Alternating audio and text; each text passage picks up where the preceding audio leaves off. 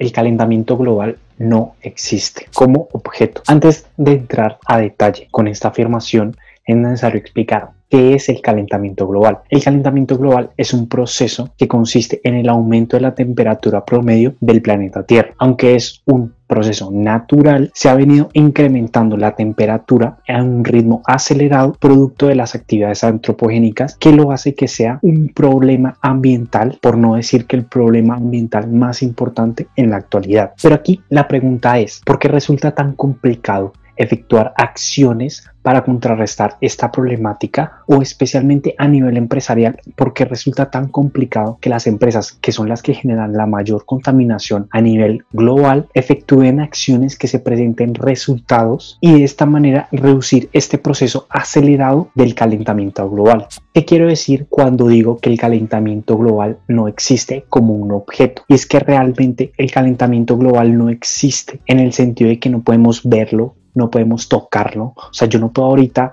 mirar por la ventana y decir, uy, ahí va el calentamiento global. No se puede ver de esa forma. No existe como una manzana, como un computador, como estos audífonos, como mi camiseta. Existe como un hiperobjeto. Este concepto de hiperobjeto fue planteado por el filósofo y ecologista Timothy Morton, que se caracteriza por reunir la filosofía de la ontología oriental a los objetos con las investigaciones ecológicas. Timothy Morton propone el definir al calentamiento global como un hiperobjeto que, como lo mencionaba anteriormente, no podemos ver, no podemos ni oírlo o no podemos tocarlo, pero no por eso no podemos hacer nada al respecto o no por eso no existe o no es un problema real que estamos viviendo actualmente. Como resultado, el calentamiento global es algo que no está a una escala antropogénica, no está en una escala de nuestros sentidos, no es como un objeto mundano, como lo venía diciendo, como una manzana, como una persona o como las emisiones que genera la chimenea de una empresa que fácilmente se podría identificar. Por el contrario, es algo que literalmente parece como si no existiera, pero está presente.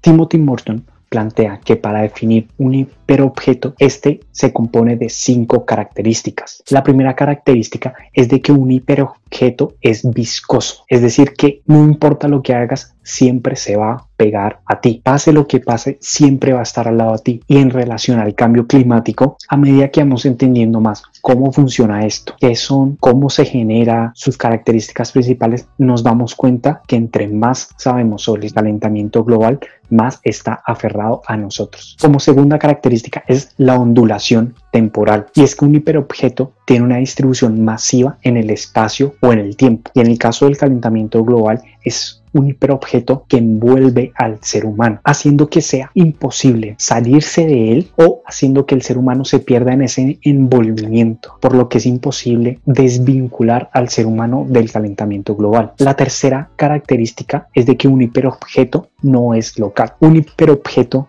no es exclusivo de una persona, no es exclusivo de un barrio, de una ciudad, de un continente, es algo a nivel global. La cuarta característica de un hiperobjeto es de que solo se puede visualizar en fases. Esto casi es como si los hiperobjetos jugaran con la escala antropogénica, pero es que no podemos analizar un hiperobjeto como un todo, ya que a escala humana no se puede ver como esa totalidad del hiperobjeto, sino en pequeños fragmentos de este hiperobjeto. Por ejemplo, en el caso del calentamiento global, no lo podemos ver como un todo, o sea, no podemos decir todo esto comprende el calentamiento global, solo podemos ver pequeños fragmentos del calentamiento global, como puede ser el aumento en las temperaturas de ciertas regiones, alteraciones en los ecosistemas, producto de un aumento de la temperatura, el, el de los polos, producto de un aumento de la temperatura. Entonces son pequeños fragmentos que casi que entran y salen bajo la escala antropogénica. La quinta y última característica de los hiperobjetos es su interobjetividad. Este concepto se refiere a que todo hiperobjeto lo componen diferentes entidades, es decir, cuando analizamos o cuando buscamos visualizar un hiperobjeto, debemos reconocer todas las entidades que lo componen. En el caso del calentamiento global, no podemos analizar este proceso sin tener en cuenta todas las entidades que lo componen, como puede ser la temperatura, la densidad poblacional, la política, la economía, el clima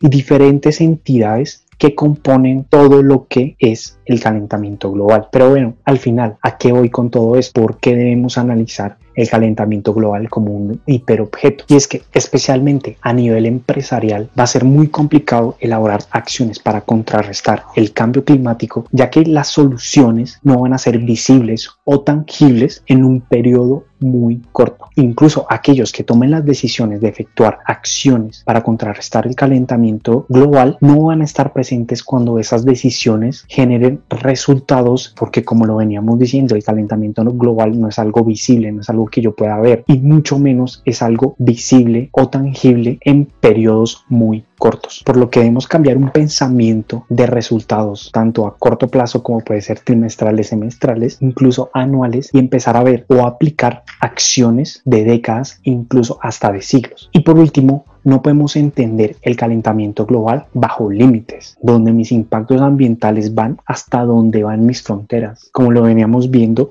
la distribución masiva del calentamiento global se encuentra en el espacio y en el tiempo, por lo que mis acciones no van a tener solo un impacto en el espacio en este momento, sino también a lo largo del tiempo. Entonces resulta muy complejo buscar entender que mis acciones tienen repercusiones a nivel espacial y a nivel de tiempo masivamente. nuevamente.